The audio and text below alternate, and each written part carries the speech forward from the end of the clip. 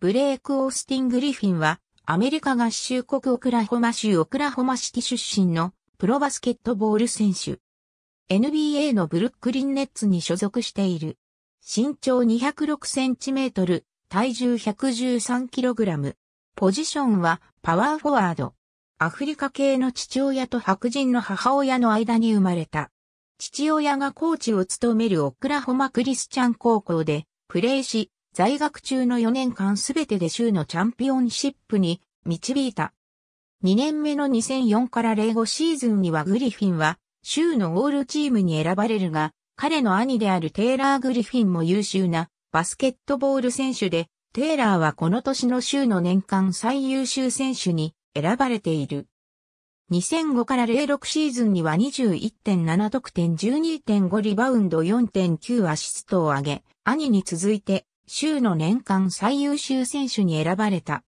最終学年の2006から07シーズンには16.8得点15.1リバウンド4.9アシストを挙げ、2年連続の年間最優秀選手と高校卒業選手のオールスターゲームであるマクダナルズオールアメリカンに選ばれ、ゲームに出場するとともに、スラムダンクコンテストでは優勝を果たした。大学はオクラホマ大学に進学。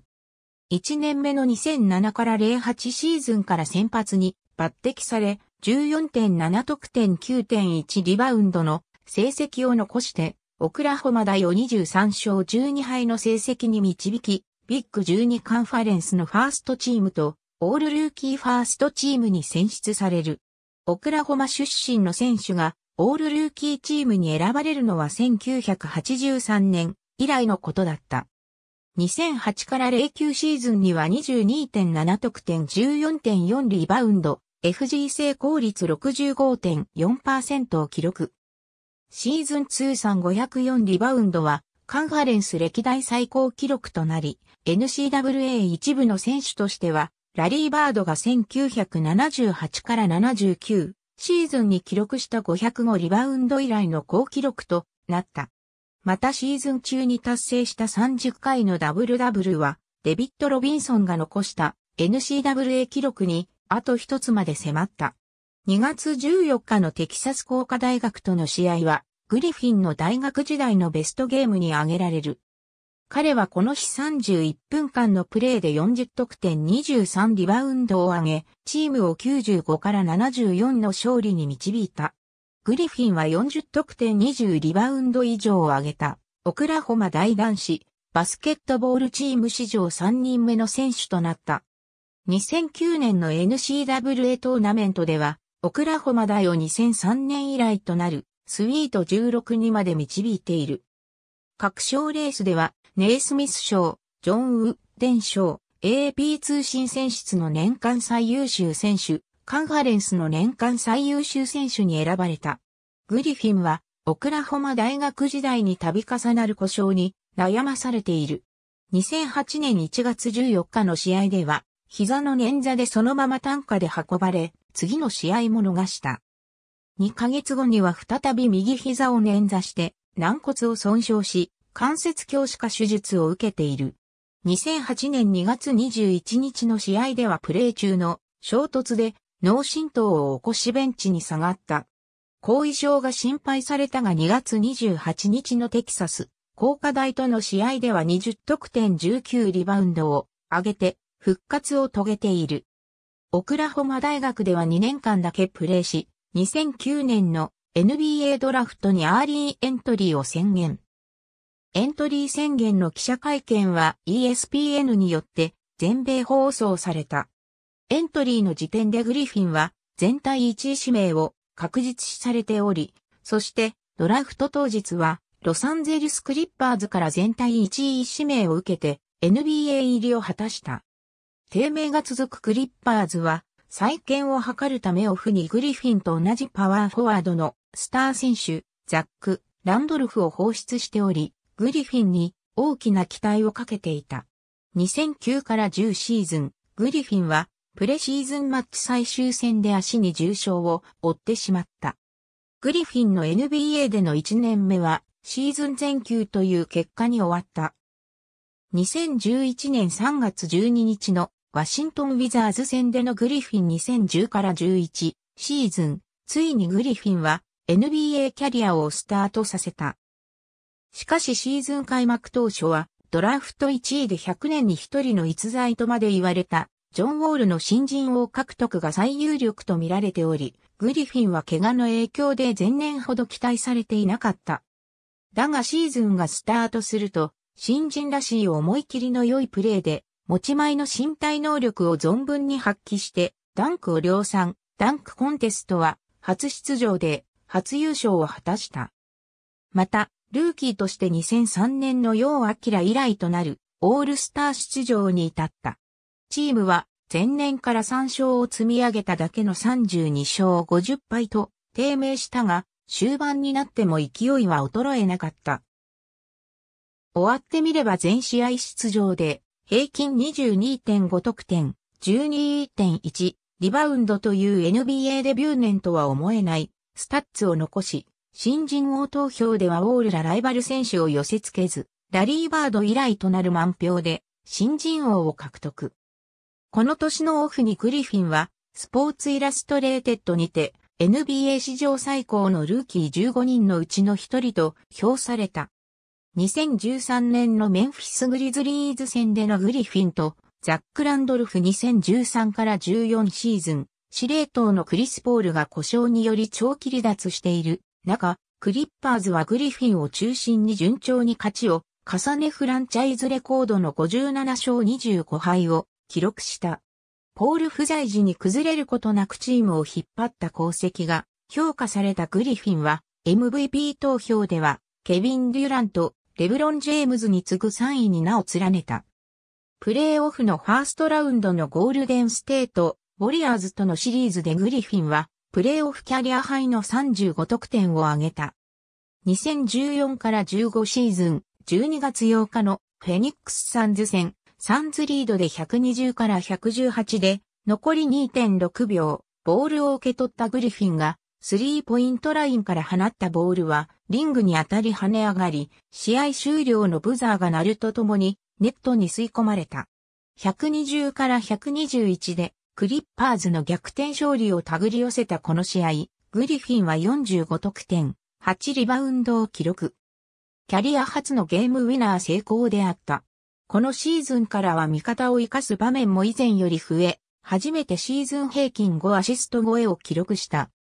プレーオフのファーストラウンドでは、第7戦までもつれた河合レナード、ティム・ダンカンを擁する前年の王者、サンアントニオスパーズとのシリーズで2回のトリプルダブルを含む平均24.1得点13.1、リバウンド7.4アシスト1.4スティール1.4ブロックを記録しシリーズ突破の原動力となった。グリフィンはクリス・ポールやデアンドレ・ジョーダンらと共に長らくドアマットと言われたクリッパーズの新時代を築くフランチャイズプレイヤーとして君臨していたものの、度重なるプレーオフ期間中の怪我に悩まされた。2017年オフにビッグ3の一角、クリス・ポールがヒューストン・ロケッツに大型トレードで移籍し、自身は5年1億7300万ドルの大型契約を結び2017から18シーズンでは新たなスタートを切る年になった。2018年1月29日、トバイアス・ハリス、エイブリー・ブラッドリー、ボバン・マリアノビッチ、将来のドラフト1巡目指名権、2巡目指名権とのトレードで、ブライス・ジョンソン、ウィリー・リードと共にデトロイト・ピストンズに移籍した。3日後の2月1日に行われたメンフィス・グリズリーズ戦でピストンズの一員として初めての試合に臨んだ。この試合でグリフィンは24得点、10リバウンド、5アシストを記録、チームは104から102で勝利した。また、ピストンズでのデビュー戦で20得点、10リバウンド、5アシスト以上を記録したのは、1994年のグラントヒル以来の記録となった。2018から19シーズン、グリフィンはこのシーズンにピストンズの HC に就任したドウェイン・ケイシーに古豪復活のキーマンに挙げられ、ポイントパワーフォワードとしての飛躍に期待された。10月23日のフィラデルフィアセブンティーシクサーズ戦でルーキーシーズンに記録した47得点以来のキャリアハイ更新となる50得点、14リバウンド、6アシスト、1ブロックを上げ、さらには OT までもつれた試合の決勝点を沈める大車輪の活躍でピストンズを勝利に導いた。ピストンズの選手が40得点、10リバウンド以上を上げたのは1983年のアイザイア・トーマス以来35年ぶりとなった。1月12日、クリッパーズからピストンズに放出されて以降初めてのステープルズセンター機関となったリベンジゲームでグリフィンはピストンズの選手として44得点を挙げ109から104で勝利をもたらした。グリフィンは、この1月、1982から83シーズンの3月に442得点を上げていたアイザイア・トーマスの月間総得点記録を上回る445得点で、ピストンズの最多記録に躍り出た。4月5日にオクラホマシティサンダー戦で、キャリアハイのスリーポイント9本を沈め44得点を上げるも試合には敗れる。グリフィンはシーズン中に左膝の痛みを訴えており、そのため一時戦列を離れた。チームは彼が不在の中苦戦するもなんとか一勝をもぎ取り、41勝41敗8位で3年ぶりのプレーオフ進出を決めた。グリフィンはイースト首位のミルウォーキーバックスとのファーストラウンドの第1戦と第2戦を欠場した。当初は POO に出場しないと報じられていたが、左膝をテーピングにより固定し強行出場し、第3戦ではこの年の MVP となったヤニス、アデトクンボをマークし14得点に抑え、自身は27得点6アシスト7リバウンドを記録し奮闘する。しかし、第3戦に敗れ続く第4戦も落としピストンズはスイープされたが、満身創痍の中視力を尽くしたグリフィンに対しリトル、シーザーズアリーナのピストンズファンからはスタンディングオベーションと MVP チャントが湧き起こった。2021年3月5日にピストンズと契約のバイアウトに合意し FA となった。2021年3月7日にブルックリンネッツとシーズン終了までの契約を結んだ。ケビン・デュラント、カイリー・アーピング、ジェームズ・ハーデンのビッグ3に加え、クリッパーズ時代ともにプレーしたジョーダンなどの強力なチームメイトと共にキャリア初の優勝を目指すこととなった。ネッツでのデビュー戦となった同月21日のワシントンウィザーズ戦では、ベンチ出場から公式戦で2年ぶりとなるダンクを披露するなど2得点にリバウンド1ブロックを記録。チームは113から106で勝利した。リングにぶら下がるグリフィン。ありがとうございます。